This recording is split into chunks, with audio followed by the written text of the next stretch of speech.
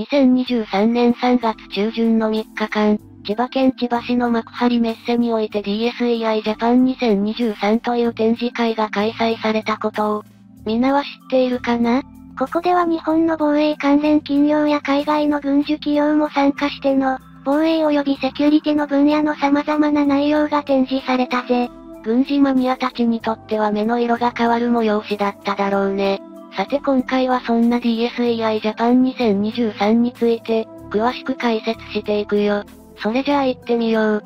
ゆっくりしていってね。さて、この DSEI Japan という名称の展示会は2019年に初めて開催され、2021年にも開催が予定されていたんだけど、新型コロナウイルスの世界的な蔓延の影響を受けて中止され、今回2023年で2回目の実施となったんだ。DSEI Japan 2023には開催国である日本の防衛関連企業も数多く参加を果たしているけど、これらの企業は直接的な攻撃用の兵器は展示しないという日本側の方針のもと、電子戦兵器や後方支援用の装備品の展示に留めていたよ。ただし参加した海外の軍需企業の中には、直接的な攻撃兵器であるミサイル等の展示を行ったケースも散見され、展示会の開催国である日本がこうした政治的な建前を今に至っても崩せない状況には、多少の違和感は拭えないな。そもそも DSEI ジャパンの会場に足を踏み入れることが可能なのは、観光庁や防衛産業の関係者、並びに安全保障関連の研究に重視している人物に限定されており、内々の関係者しか直接見ることはできないようになっているぜ。それを考慮した上で、他国に日本の防衛産業の製品が直接の攻撃に使用される兵器を実際に販売可能か否かは、日本の現行法や政治的な判断に委ねるべきものであり、展示の有無によるものではないとしか個人的には思えないな。さてそんな今回の DSEI Japan 2023だけど、やはり会場でひときわ注目を集めていたのは、日本とイギリスとイタリアとで共同開発される運びとなった、次期戦闘機の模型とそのプロジェクトに参加する各国の主要企業だろうね。日本においてそれは三菱重工業社、IHI 社、三菱電機社などであり、イギリスは BAE システムズ社、ロールスロイス社、レオナルド UK 社、そしてイタリアはレオナルド社らがそうした参加企業の代表格なんだ。この次期戦闘機開発計画は GCAP グローバルコンバットエアープログラムと称されており、今回の DSEI Japan 2023においてもその中心を担うであろう BAE システムズ社が、盛んに第6世代機だと喧伝していたよ。現時点で第5世代戦闘機と呼ばれているアメリカロッキード・マーチン社の F35 ライトニング2以後、その先の世代だと認識された機体はまだどこにもなく、その定義も曖昧だけどキャッチフレーズには使用されているみたい。さてそんな GCAP グローバルコンバットエアープログラム関連以外でも、今回の DSEI Japan 2023では川崎重工業者がかなり変わった展示を行っており、一部ではそのパネル展示が非常に大きな話題ともなったね。ここで川崎重工業者がパネル展示を行ったのは、参加の同社のグループ企業でバイクやジェットスキー等を手掛けていることで著名な川崎モータース社が開発した、ニッケル水素を用いた二次電池の新たな用途についてなんだ。この川崎モータース社のニッケル水素を用いた二次電池は製品名をギガセルと称するんだけど、今回川崎重工業者は DSEI Japan 2023においてその用途として、航空母艦の電磁式カタパルトの動力源とすることを提示したみたい。航空母艦のカタパルトといえば、それらの艦艇から艦載機である機体を強制的に加速させて射出する機構であり、機体自身が自らのエンジンの出力によって発艦する場合に比して、より短い滑走距離でそれを可能とする仕組みだね。また距離的な問題に止まらず、発艦する機体に対してより多くの燃料や兵装などを搭載した状態で発艦させることが可能となるため、機体の持つ航続距離や攻撃力を向上させる装置として、アメリカ海軍等の艦艇で運用されているぜ。実際にはこの2023年3月においてカタパルトを装備し実戦配備された航空母艦というのは、アメリカ海軍のニミッツ級航空母艦重隻とジェラルド・アールフォード、そしてフランス海軍のシャルル・ド・ゴールの合計12隻のみだな。このうち最新鋭のジェラルド・アール・フォードは電磁式カタパルトを装備しているけど、これを除く残りの11隻の航空母艦のカタパルトは全て蒸気式のもので、フランスのシャルル・ド・ゴールもアメリカからの技術供与されたものだよ。蒸気式のカタパルトはまだアメリカ海軍の主力である重隻のニミッツ級航空母艦で使用されており、これまでも中東などでの実際の戦闘で運用され、そのシステムの信頼性という点では非常に完成度が高いことは言うまでもないんだ。しかしアメリカ海軍はこうした伝統と信頼性を誇る蒸気式のカタパルトから、より様々な重量の機体や、同じ機体でも搭載する内容物によって微調整が可能な電磁式のカタパルトの導入を決定。ジェラルド・アールフォードに搭載したぜ。ただし2017年に収益を迎えたジェラルド・アールフォードではあったが、電磁式のカタパルトをはじめ初めて導入された新機軸の装備が他にも多数あったことも影響し、事実上は2022年までの5年間は実稼働状態とは言えなかったな。アメリカですらきちんと稼働させるのに時間がかかっているんだね。それほどまでに、かのアメリカ海軍ですらも実用化に時間を必要とした電磁式のカタパルトだけど、中国海軍は2022年6月に浸水させた同海軍3隻目の航空母艦の復権にそれを装備すると世界に向けて喧伝しているよ。心意気は認めるけど、中国には難しい気がするよね。電磁式は言うに及ばず、カタパルトの装備自体が初となる中国海軍の航空母艦において、それが実際に可能なのか否かは、今年2023年春先からと予想されている復権のテストの進捗を見てからでないと、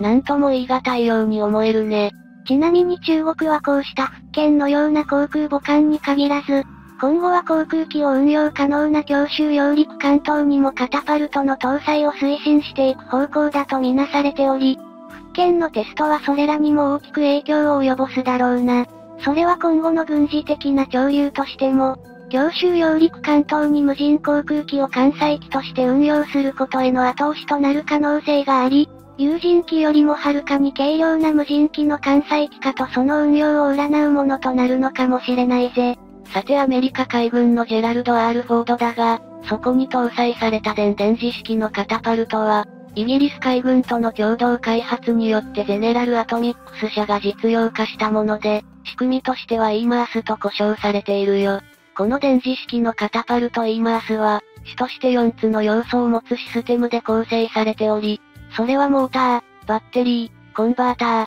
制御システムで、その中でもバッテリーにはフライホイール形式が採用されているんだ。フライホイールバッテリーとは、充電や放電を行うに際して化学反応を媒介させてそれを行う蓄電池と異なり、構造がシンプルで耐用年数が比較的長く、加えて整備性が高いことが利点として挙げられているな。川崎モータース社のニッケル水素を使用するギガセルアムロン蓄電池に該当する製品なんだけど、すでに路面電車等への採用や各種の蓄電用の設備に実績を持ち、大容量でかつ高速の重放電に対応し、環境にも優しいとされているみたい。日本で軍事用に使用されている蓄電池といえば、最新鋭の体芸型潜水艦にも搭載されているリチウムイオン電池が思い浮かぶが、ニッケル水素電池はこれに対し、大きく重く重放電時間も長いが非常に低コストだと考えられるよ。軍事用として見た場合、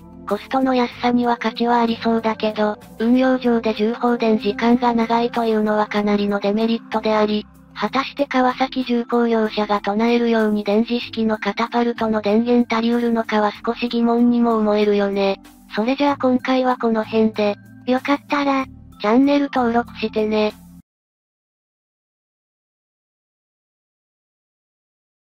イギリス軍が誇る空母クイーンエリザベス、その誇り高い上艦にアメリカ軍の F35B 戦闘機が満載され、北海で合同訓練中なんだって。空母クイーンエリザベスは F35B を乗せるため、クロスデッキ訓練を行ったということだね。これはイギリスだけの話ではなく、日本も護衛艦出雲でクロスデッキ訓練を行うために、改修工事に入っているな。クロスデッキというのは、空母の共同使用ということで、デッキ甲板をクロス交差させるということだな。自国の空母に離着陸させるんだから、どの国の戦闘機でも良いというわけにはいかないよね。だからこそ、同盟国の戦闘機でなければクロスデッキ訓練はしないだろうな。そしてクロスデッキを行うということで、同盟国の関係の深さを世界に知らしめることができるというわけだぜ。うんうん。さて今回は護衛艦出雲が改修工事を急ピッチで進めていることについて、詳しく解説していくよ。それじゃあ行ってみよう。ゆっくりしていってね。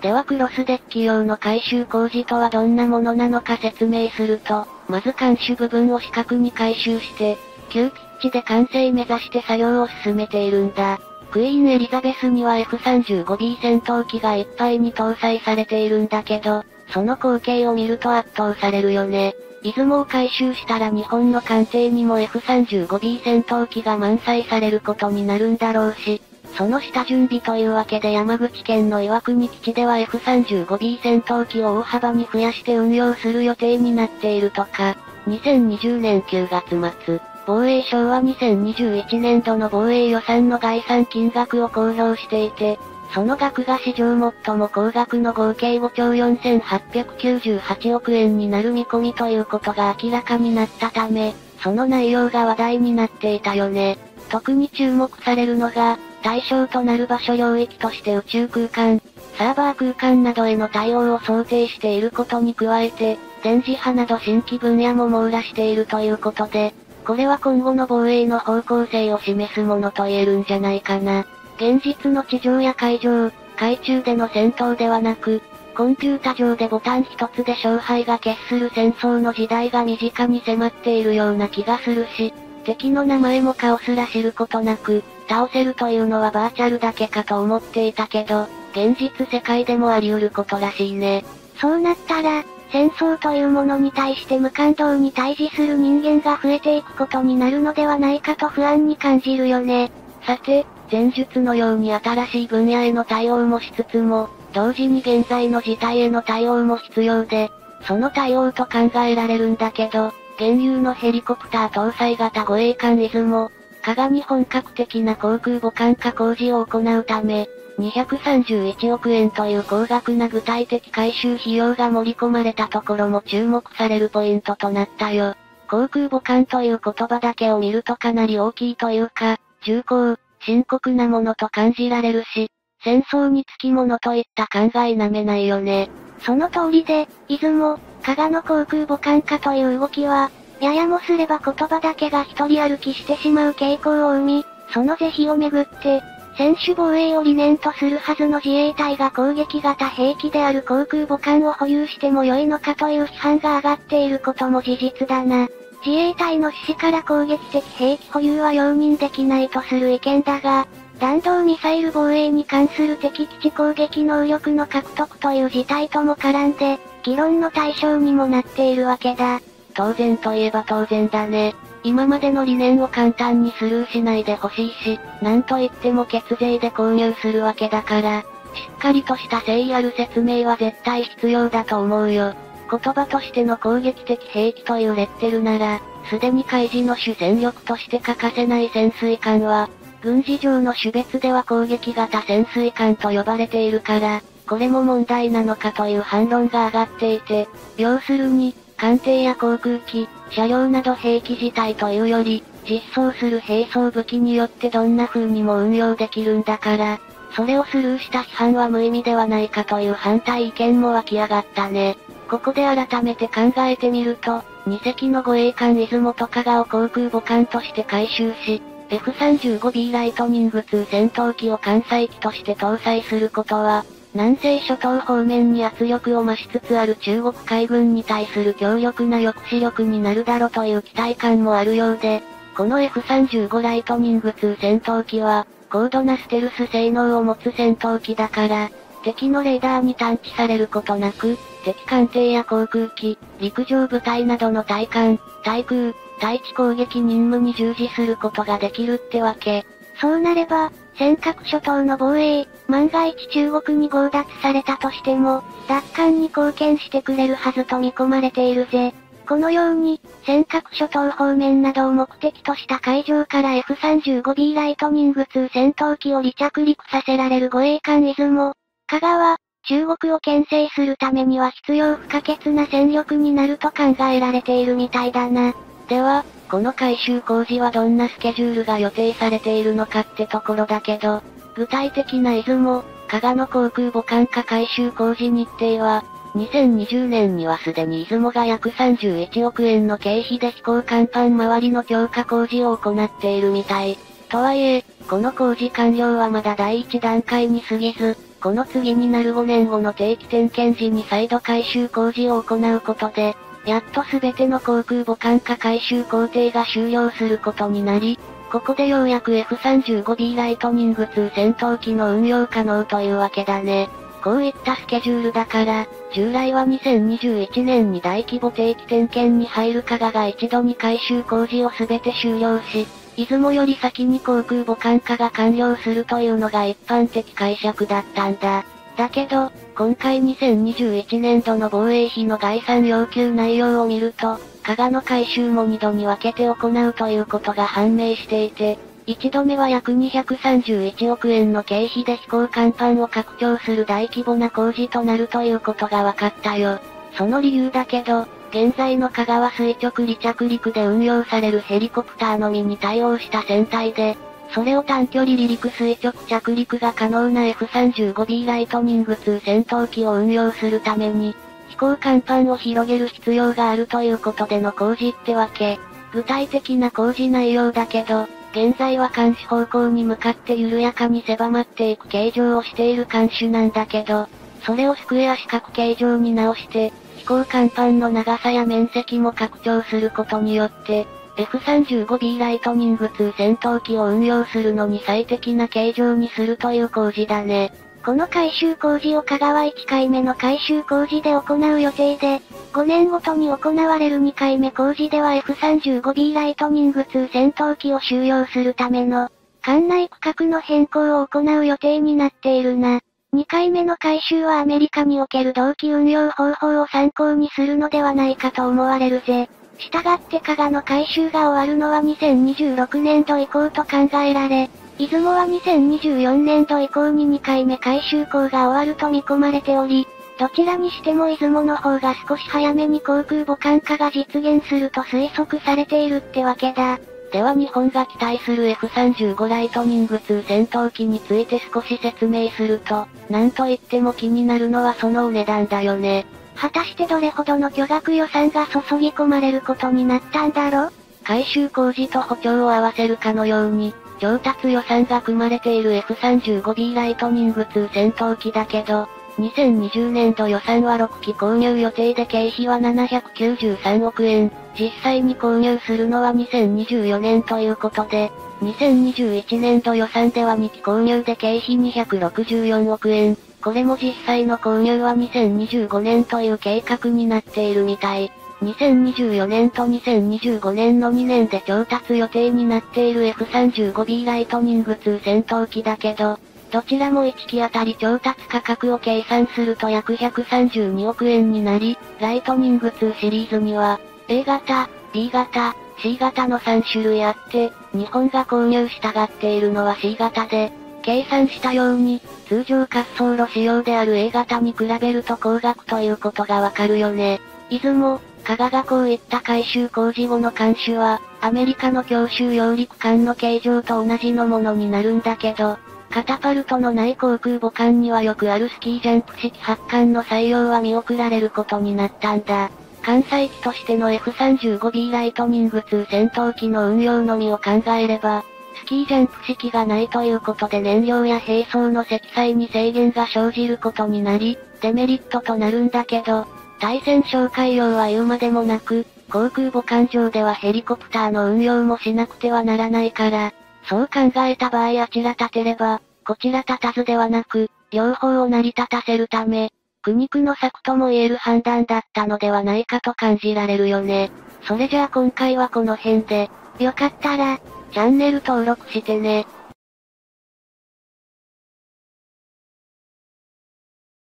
陸上自衛隊の第3.5世代第4世代との見方も主力戦車である一丸式戦車は、国産戦車として4代目にあたり、それまでの第3世代主力戦車90式戦車と比較して戦闘力の総合化が図られているね。火力機動力防護力がそれぞれ向上した上に小型軽量化もなされていて、日本の国土防衛に適した戦車だな。日本の技術力を結集させた誇るべき戦車だよね。さて今回は高性能な陸上自衛隊の一丸式戦車について、詳しく解説していくよ。それじゃあ行ってみよう。ゆっくりしていってね。日本本土防衛のために最適な能力を有する戦車を将来にわたって保有するため、戦闘の形態の目まぐるしい変化に対応可能な機能性能を有した後継の開発が必要とされており、90式戦車の後継として新たに導入する戦車の条件として、C4I システムによる情報共有及び指揮統制能力の負荷と火力防護力機動力の向上、そして全国的な配備と戦略起動のための小型軽量化が求められていたんだ。そして2002年度平成14年度から防衛省技術研究本部現在の防衛装備庁と、三菱重工業において開発が進められ、2008年に試作車両が公開されて主な諸言などが明らかにされたよ。その後2010年6月14日に静岡県寸東郡小山町の陸上自衛隊富士学校富士駐屯地で、一丸四式戦車試作車両として報道関係者に公開、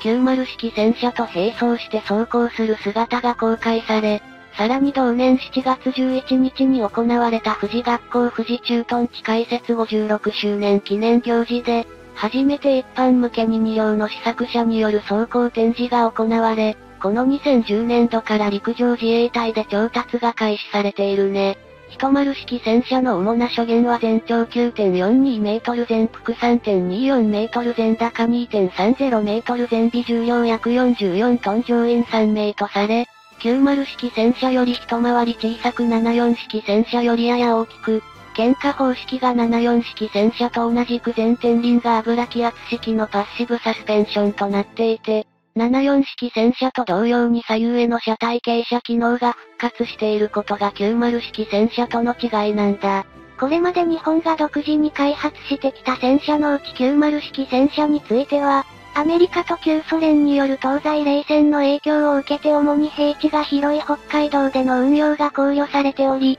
大口径の125メートル砲が搭載されている旧ソ連製の T80 戦車などに対抗するために、大型化せざるを得ず、重量が約50トンとなったな。そのため90式戦車は日本国内の橋梁や路面の許容重量の基準から北海道以外では平時における配備と運用が難しいとされ、一丸式戦車の開発においては本州、四国、九州など全国的な配備運用に適した能力と、砲塔を乗せたままでのトレーラー輸送を可能にするなどの戦略上の機動性向上が求められた結果として、全備重量で約6トンも軽い約44トンとされたぜ。74式戦車を陸送する際にトランスポーターで輸送する場合、73式特大型セミトレーラによって車体に砲塔を搭載したまま輸送できるんだけど、90式戦車の場合は最大積載量が50トンの特大型運搬車であれば砲塔と車体が一体のままの状態で輸送できるものの、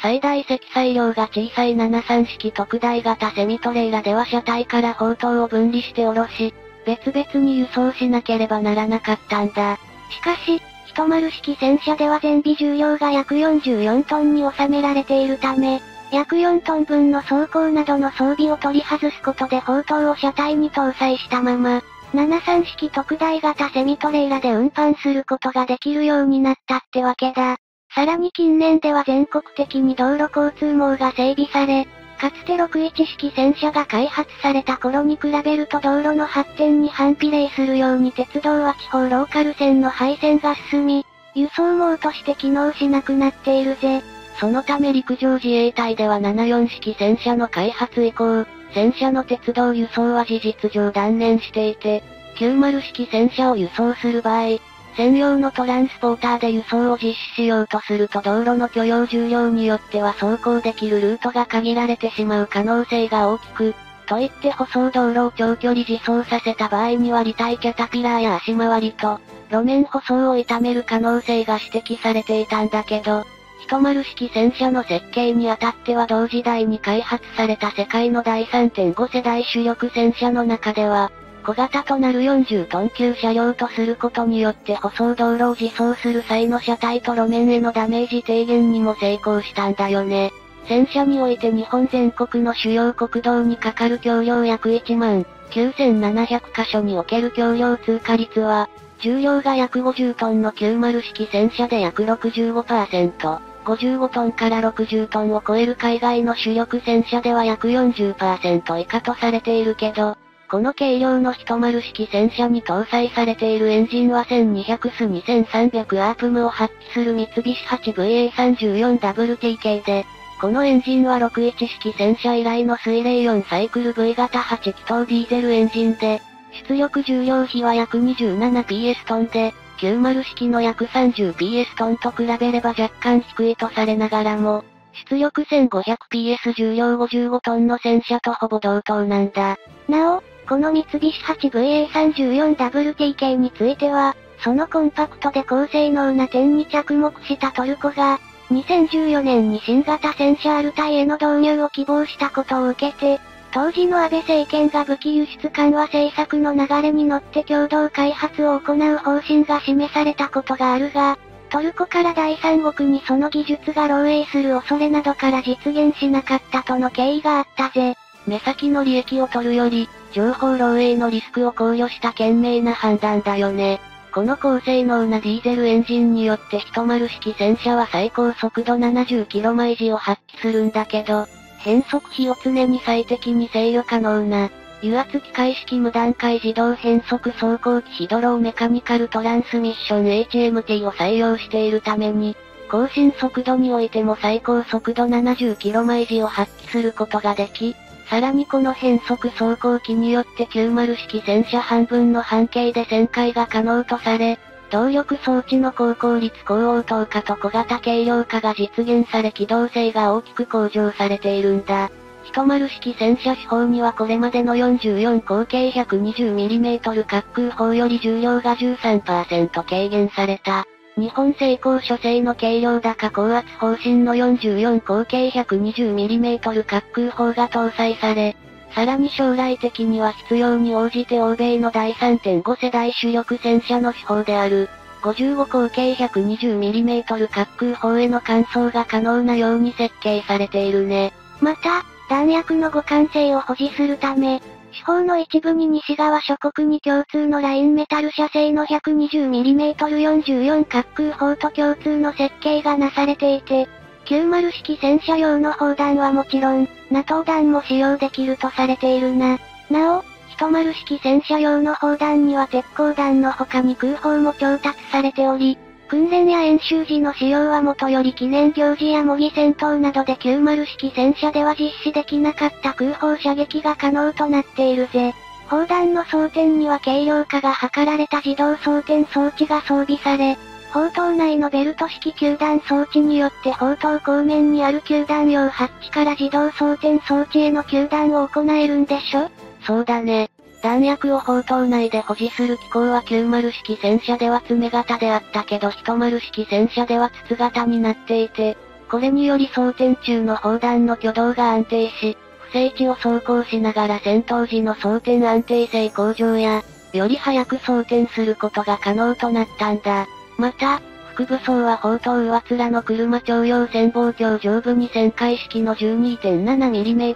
重機関銃 M2 と、四方と同軸に74式車載 7.62mm 機関銃が装備されているよ。10式戦車の装甲には正面に複合装甲が採用され、その他の防弾板には結晶流微細化鋼板と呼ばれる鋼板が採用されており、増加走行も含めて高い防御力を維持しながら軽量化が図られているな。そして10式戦車最大のポイントは、陸上自衛隊戦車に初めて搭載された、C4i システムコマンドコントロールコマニケーションズコンピューターズインテリジェンス式統制通信コンピューター情報というネットワークシステムで、10式戦車ネットワーク 10NW と呼ばれるこのシステムは、ここの戦車内部だけでなく小隊や中隊単位の一丸式戦車同士が相互に情報を共有伝達することが可能で、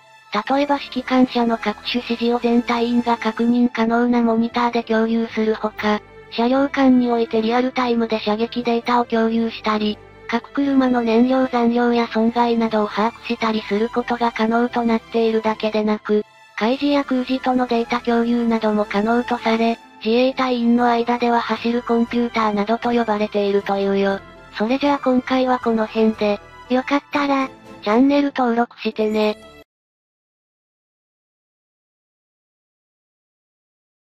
2023年2月21日、海上保安庁のヘリコプター搭載型の新型巡視船が建造中の三菱重工業者の下関造船所で浸水を迎え、巡視船弓張と命名されてその巨大な船体で日本の海への第一歩を踏み出したことが報じられたよ。巡視船弓張は、大型でヘリコプターを2機搭載して運用することが可能なタイプの竣工型巡視船であり、1番艦竣工、2番艦朝なぎに続く、3番艦として建造が進められてきたものだな。尖閣の平和を守るために、存分に頑張ってほしいよね。さて今回は竣工型巡視船の3番艦の弓張が三菱重工業者の下関造船所で浸水したことについて、詳しく解説していくよ。それじゃあ行ってみよう。ゆっくりしていってね。海上保安庁における竣工型巡視船は PHL パトロールベッセルラージウィズヘリコプターに分類され、同庁の所属の船舶の中でもヘリコプター2機を搭載できる点でも最大規模の船舶に相当する大型艦なんだ。竣工型巡視船は今回の3番艦弓張を含めて、3隻すべてを三菱重工業者の下関造船所が建造を担っており、1番艦の竣工はすでに2020年2月に鹿児島の第10艦保安本部に配属が行われているよ。2番艦の朝なぎは昨年2022年6月に浸水を迎えており、3番艦の弓張りと同様にこの2023年度中には収益する予定と目されており、竣工型巡視船の建造費は1隻あたりおよそ170億円強と公表されているね。海上保安庁の大型区巡視船といえば総トン数で7300トンを超える黎明型がよく知られていると思うけど、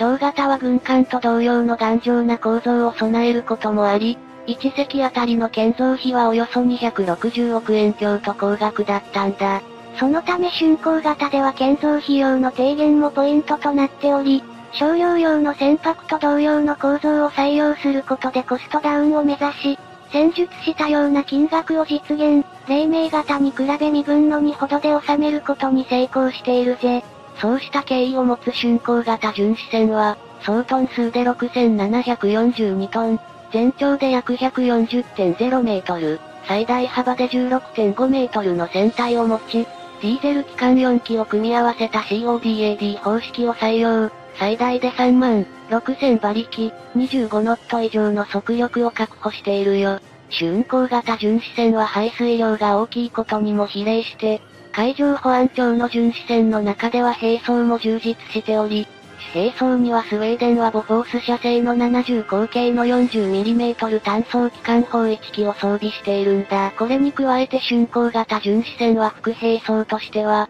アメリカはゼネラルエレクトリック社製の 20mm の M61 バルカン砲2機も備えており、海上保安庁の巡視船の中では最も重武装が施された船の一隻だと言っていいんじゃないかな。また竣工型巡視船の最大の特徴でもあるヘリコプターの搭載能力は、エアバスヘリコプターズ社製の EC225 シペルキューマーク2プラスを2機収納可レな格納庫を備え、配備自体も常時2機を搭載する運用とされているよ。こうしたヘリコプター2機にプラスして竣工型巡視船では4隻の小型艇も搭載しており、これらを使用した複数の任務への対応が可能であり、合わせて他の小型の巡視艇等へ補給を行える支援機能も果たす船舶でもあるんだ。竣工型巡視船がこうしたいわば母船機能とでも言うべき能力を付与されている理由は、年々高まっている中国側からの圧力に対抗するための処置であり、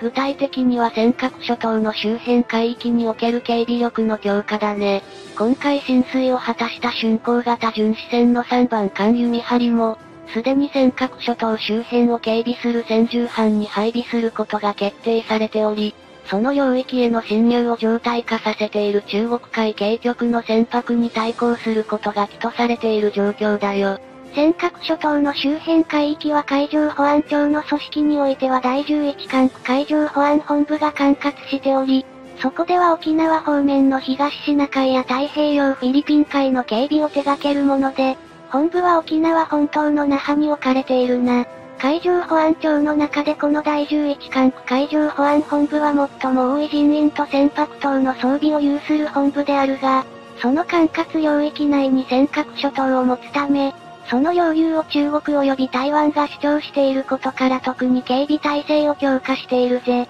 中国や台湾が尖閣諸島を自国の領土だと主張するようになったのは1971年以降のことだけど、ことに2012年に日本政府がその国有化を行って以後、中国側は自国の海警局の船舶のその方面への進出を強める動きに出ているね。それは尖閣諸島が日本の領土ではないという中国側の主張を周辺国や、世界的に発信する意図を持った行動だと考えられるけど、ゆえ石原慎太郎氏が尖閣諸島の東京都への編入を打ち出して以後、中国の強硬路線は強まった感があるよ。結果として政治的には尖閣諸島は東京都への編入ではなく、日本政府が国有化して現在に至っているわけだが、中国側の侵入を警戒して下した決断が、なお一層中国側の同諸島に対する意識づけを明確にさせてしまったことは事実だろうな。そしてそうした中国側の動きに合わせて日本側も尖閣諸島の警備体制を強化せざるを得ず、2013年以降は尖閣諸島の周辺の領海に対し戦銃での警備体制を敷くことを余儀なくされ、12隻の巡視船による部隊が組織されたぜ。こうして組織された尖閣諸島の周辺の領海に対する戦銃警備体制は、3年後の2016年2月には一旦の完了を見たんだけど、中国海警局は海上保安庁の船舶をはるかに上回るペースで増加を続けており、侵入の頻度も増加の一途をたどっているね。海上保安庁側としては尖閣諸島の警備を強化するにあたっては、石垣島からも同諸島までの距離があることから、一定以上の希望を持つ船舶でなければ同海域に長期間留まっての任務を行うことは困難なため、大型の巡視船を増加させているみたい。その一環として今回の竣工型巡視船の3番艦の弓張りの浸水も位置づけられており、船体自体が大型で高い汎用性を備える巡視船を、尖閣諸島の周辺の領海に対する戦銃警備体制の部隊に追加する最大の目的となっているよ。すでに2012年度の時点では第11艦海上保安本部に配備されていた大型の巡視船は7隻だったものが、3倍増となる21隻体制にまで拡充されつつあるけど、中国海警局の船舶の増加数には全く追いついていないのが実情なんだよね。昨今の中国海警局は組織の改変に伴い軍事警察の参加の組織となっており、配備されている船舶もそれに準じてももともとは中国海軍が運用していた水上戦闘艦の移管も行われ、中には 76mm もの手法を搭載したものまで存在しているんだ。それらの中国海警局の船舶は4隻で1つのチームを組む運用が確認されており、尖閣諸島の周辺海域に日本の船舶が現れると集団でその行動を妨害する動きを加速させ、事実上日本の漁船の自由な操業を困難にしているってわけ。そうした現状にあろうことか日本の海上保安庁の対応が弱腰であるとの批判の声も一部からは上がってきているが、この尖閣諸島の問題は国家試験をかけた純然たる政治課題であり、現場の海上保安庁の判断に着せられることでないことは明白だろうな。中国はこうした尖閣諸島に止まらず、台湾や南シナ海においてもその領有を主張して周辺国との圧力が絶えないんだけど、経済力を背景に海軍や中国海警局の増強を続け、その実力をもって自らの主張を押し通そうとしているみたい。にもかかわらずなぜか日本の大手のマスメディアの中には、未だ露骨な反米親中の思想やイデオロギーを声高に叫ぶ人物たちの主張を繰り返し掲載するものがあり、未だその傾向はやむことはないと実感させられるよね。個人的で主観的な意見を述べることを許してもらえるのなら、仮にイデオロギーの問題は置いておくとしても、中国の型を持つことが一体何の得を日本にもたらすことのになるのかと、その真意を問わずにはいられないよ。それじゃあ今回はこの辺で、よかったら、チャンネル登録してね。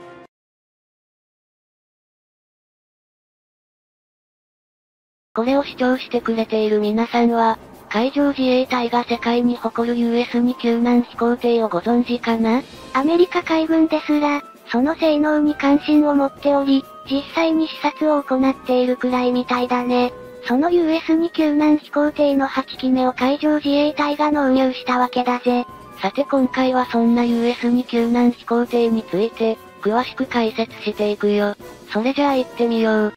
ゆっくりしていってね。2022年5月24日、新名和工業より、通算で8機目となる US2 救難飛行艇が海上自衛隊へ納品され、晴れて岩国基地に配備されることになったよ。2007年3月の初号機から今もなお日本の海難救助活動に従事しており、これからも多くの命を救うことが期待されているね。US2 救難飛行艇の初限に関しては、乗員11名、全長33.25メートル、全幅33.15メートル、全高10.06メートルの規模感となっているんだ。これを見ると世界でも最大規模の飛行艇と言われるのも納得がいき、最大時速 580km、巡航時では 470km、航続距離も 4700km に達すると言われているんだって。この US2 救難飛行艇の最大の特徴と言われ、世界の各国から注目されているのが圧倒的な短距離着水を可能としている点だと言っていいんじゃないかな。離水距離280メートル、着水距離330メートル、着水可能な波の高さも3メートルと世界の飛行艇の中でも群を抜いているくらいだよ。救難飛行艇として世界9カ国において採用されている、カナダのボンバルディア社製の CL415 飛行艇は離水距離が808メートルで着水距離が665メートル。着水可能な波の高さが1.8メートルとなっており、その差を見ても歴然だよな。このような高性能な機能を持つ US2 救難飛行艇だが、なぜか海外での採用例は一つもない。なぜなら、US2 救難飛行艇は生産数も限られており、1機あたりの価格が120億円を超えているからだぜ。だからこそ世界の国々も注目はするけど、いざとなると購入を渋ってしまうんだね。その中でも、導入間近まで交渉していたインドだったけど、ロシア製の B200 飛行艇の1機あたり75億円という安価な型に食いつき、性能は大幅に劣るものの、コスト面で負けてしまったんだ。しかも、インドはもともとロシアとつながりが強いことから、単純な金額面だけではなく、購入後のアフターフォローなども充実していると推察されるよ。いかに日本の US2 救難飛行艇が高性能といっても、そもそもロシアの優位性が高かったんだ。しかし、現状を見てもロシアの生産性の低下が顕著になってきていて、当然だが、ウクライナ有事による西側諸国からの経済制裁が起因となっていて、B200 飛行艇の生産も止めざるを得なくなっているぜ。それでもインドはロシアに対して経済制裁を行っていないことや、行き先を失ったロシア産の原油を購入するなど、独自の路線を選択していることから、二国間の関係は良い方向で進んでおり、今後も価格面などで合意が取られれば、取引は順調に進められるだろうな。一方で US2 救難飛行艇の外観のデザインや救難飛行艇としてのコンセプトなどは、前モデルである US1 飛行艇を踏襲していることが見た目でもわかるよ。この US1 飛行艇も同様に、新名は工業が手掛けた機体であり、1976年から2017年まで立派に役目を果たしたんだ。実はこの US1 飛行艇はオリジナルの開発ではなく、海上自衛隊が1970年に採用された PS1 という新名は工業が製造した、対潜水艦用哨戒機がベースとなっているみたい。その当時、日本の脅威となっていた旧ソ連の潜水艦への対抗策として、US-1 飛行艇は機体自体を海面に着水させた後に搭載する吊り下ろし式の対戦用ソナーを使用するタイプであったんだけど、その方式はすぐに陳腐化する結果となり、当時世界の対戦紹介の分野においてトップを走るアメリカ海軍の機体から投下するその V 式の潜水艦探査手法が踊り出ており、これは1968年に初飛行させたロッキード社の P3C 対戦哨戒機において実用化を果たしているね。それで、海上自衛隊は US-1 飛行艇の調達を23機で打ち止め、1981年にアメリカ海軍に倣ってロッキード社製の P3C 対戦哨戒機を導入する運びとなったわけだな。ちなみに同機は川崎重工業者がライセンス生産を行うなどして、その後、100機以上が調達されており、海上自衛隊では同社製の国産 P1 哨戒機を2013年正式採用へと発展を遂げたぜ。2022年度末においても P3C 対戦哨戒機40機の保有を継続していたことから、残るこれらを海外の国々に対して払い下げる計画も進められているけど、またもや交渉負けしている模様が伺えるよ。中でも南シナ海での監視能力強化を図るフィリピンが P3C の購入を希望していたけど、後の運用に高度な能力を必要とし、維持費も高い P3C に代わり、より扱いやすく維持費が安い方の TC90 に変更となっているんだ。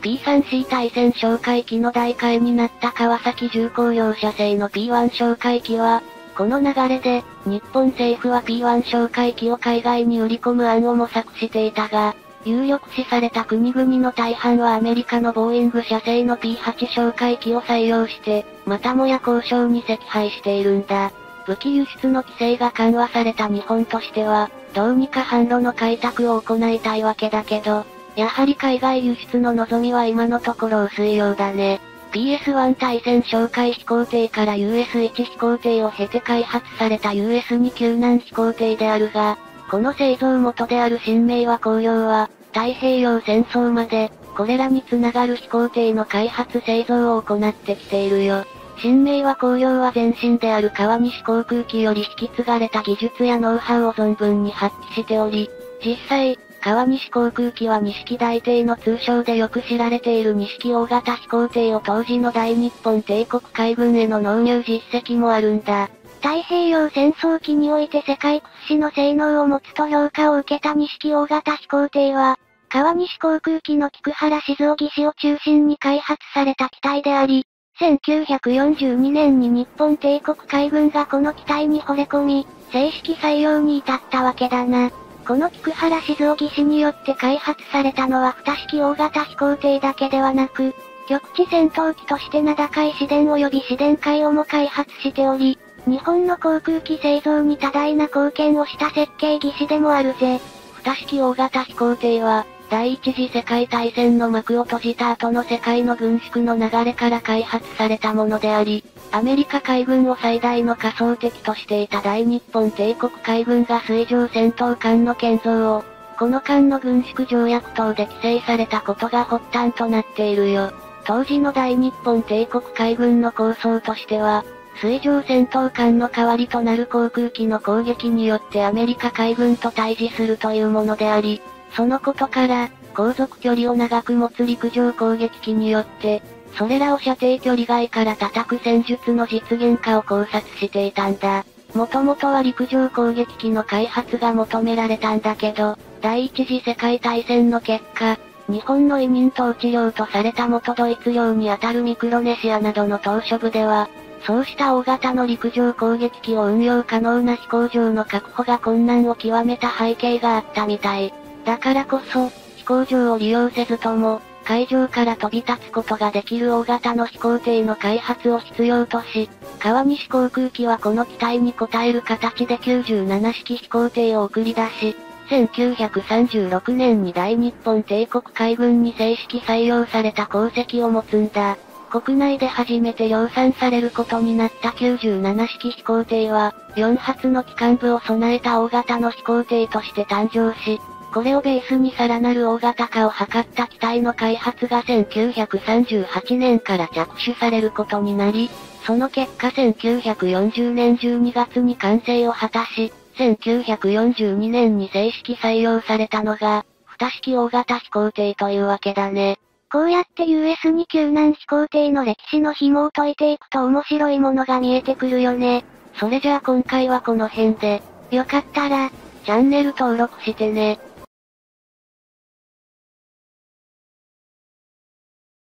中国海軍の航空母艦といえば、一番艦で練習用とみなされている遼寧が近年は日本の近海にもたびたび進出するなど、同国海軍が自国の沿海域を超えて西太平洋に勢力を拡大するための象徴的な戦力と位置づけていることが感じられるよね。遼寧は旧ソ連時代に建造中であった同国の未完成の航空母艦を、最終的に所有権を有したウクライナから中国がスクラップと名目を偽って入手し、完成させて自国の初の航空母艦として収益させたことでも有名だな。中国の軍拡の動きは侮れないよね。どんな状況になっても対応できるように、日本側も備えておく必要があるよ。さて今回は、中国が遼寧、3トンに続き3隻目の復権を浸水させたことと、電磁式カタパルト搭載の件について詳しく解説していくよ。それじゃあ行ってみよう。ゆっくりしていってね。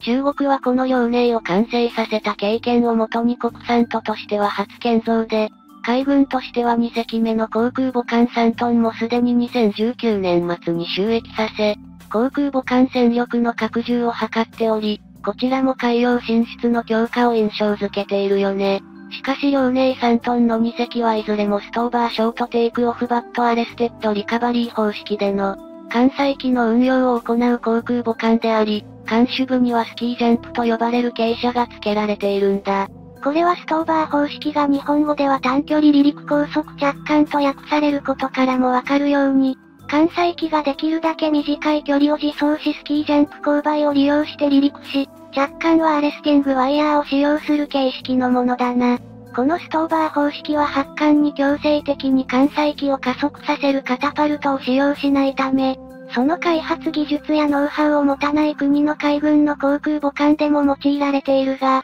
その分艦載機の能力には制限が生じてしまうぜ。これはストーバー方式の場合にはどうしても艦載機が自力で加速して離陸する必要があるため、機体自体を軽くしておくことが避けられず、物理的には可能な燃料や兵装の搭載量を減らさざるを得ないことを意味しているよ。よってストーバー方式で離陸した艦載機はカタパルトを装備したカトーバー方式の場合として、一概に燃料が少ないため作戦行動半径が狭く、また兵装も少ないため、攻撃回数や攻撃能力に劣ることがマストと考えられているんだ。アメリカ海軍の主力である10隻のミニッツ級航空母艦及び、1隻のジェラルド・アール・フォード級は全てカタパルトを備えたカトーバー方式なんだけど、同方式が採用されている航空母艦はこれら以外にはフランス海軍のシャルルド・ゴールのみとなっているみたい。このシャルルド・ゴールが搭載しているカタパルトも、アメリカが同盟国として技術援助を行っていることで実現されているものであり、事実上これまではカタパルトの製造や運用技術はアメリカが独占していると言って良い状態だったんだ。これらのカタパルトの中でミニッツ級やシャルルドゴールが搭載している形式が蒸気式カタパルトであり、映画トップガンでアメリカ海軍の航空母艦から F14 や FA18 等が離陸する際に描写されたものだね。これらの映画の画面でもわかるように、蒸気式カタパルトは文字通り蒸気をその力として動作しているため、関西機の離陸時にはかなりの量の水蒸気が飛散されることを目にしたという方も少なからずいると思うよ。アメリカ海軍のニミッツ級航空母艦はこの蒸気式カタパルトを艦首に向けて2機、アングルドデッキ上に2機の合計4機を備えているけど、動力となる蒸気を通すため非常に多くの配管を艦内に張り巡らせているんだ。その蒸気用の配管の維持メンテナンスにも膨大な労力がかかるであろうことは想像に難くなく、また関西機の離陸時の機体ごとの調節の容易さを狙って、アメリカ海軍は2017年に就役させたジェラルド・アール・フォード級からカタパルトの仕組みを変更したみたい。それが電磁式のカタパルトであり、EMALS Electromagnetic Aircraft Launch System と呼称される、電気を動力源として用いる形式で、アメリカ海軍とイギリス海軍とが共同開発を行ったものになるぜ。電磁式のカタパルトは蒸気式のものと比して、関西機へ加える力をより状態に応じて細かく制御可能であり、またエネルギー効率に優れ構成部品が長寿命、蒸気を起こすボイラーやその配管が不要となることが利点とされているな。引き換え電磁式のカタパルトの運用には膨大な電力を供給する必要があり、また現時点では蒸気式カタパルトに比して開発及び製造に要するコストが総じて高額であり、費用対効果の面ではまだ課題が多いと考えられてきたよ。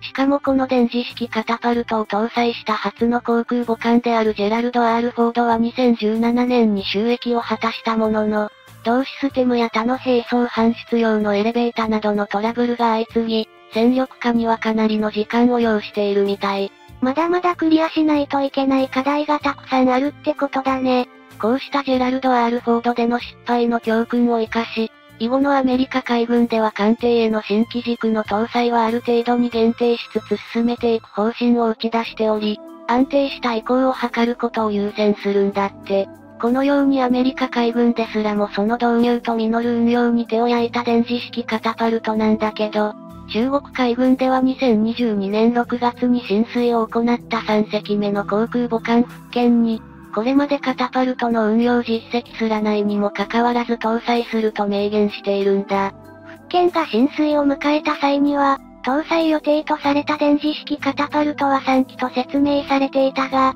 いずれもその箇所には覆いがかけられており、実際に装備されるのはまだ後のことになるのだろうと伺わせたな。中国海軍の復権は基準排水量が7万1875トン、満載排水量が8万トン以上、全長が315メートル以上、全幅が76メートル以上と推定されているが、無論この規模はアメリカ海軍の航空母艦を除けば世界でも最大クラスだね。復権は早ければこの2023年春前後に最初の航行テストに臨むと予想する西側の関係者もあり、さらにそこから1年半ほどの期間をかけて2024年中には実戦配備が行われる可能性も示唆されるなど、動向が注目されているよ。このスケジュールの予測が正しいと仮定した場合、復権は来年の2024年には電磁式カタパルトを含む関西機のカトーバー方式での運用能力を獲得することが必須となるけど、個人的にはこの流れがスムーズにいくのかには疑問を禁じ得ないね。まずは当然のことながらあのアメリカ軍でさえも想定通りに稼働させることに時間を要した電磁式カタパルトそのものについてであり、いかに中国が様々な技術を模倣しコピーする国といえどそれが今から1年ほどで可能かという点だと思う。次にカトーバー方式用の関西機の準備の件があり、これまでストーバー方式の機体しか運用してこなかった中国が、これまでも報道はされてはきたが戦闘機をはじめとし、早期完成機等まで網羅する形にできるのかという部分だな。そして最後には復権はこれまでの中国の航空母艦と同様に通常動力型であり、非常に大きな電力を必要とする電磁式カタパルトの運用をその仕様で実用化できるのか、という点で決してそれは容易ではないと考えるためだぜ。これらをまとめなければ電磁式カタパルトそのものの完成、搭載する各種艦載機のストーバー方式への対応、通常動力型である復権の電力供給能力という3点から、その2024年内での収益は困難なのではないかと個人的には思えるんだ。いずれにせよ中国側がまず予想されたように、この2023年の春から復権の公開テストに着手できるのか否かが鍵となると思われるが、この2023年3月の段階でも今のところそうした動きは少なくとも報じられてはいないね。それじゃあ今回はこの辺で、よかったら、チャンネル登録してね。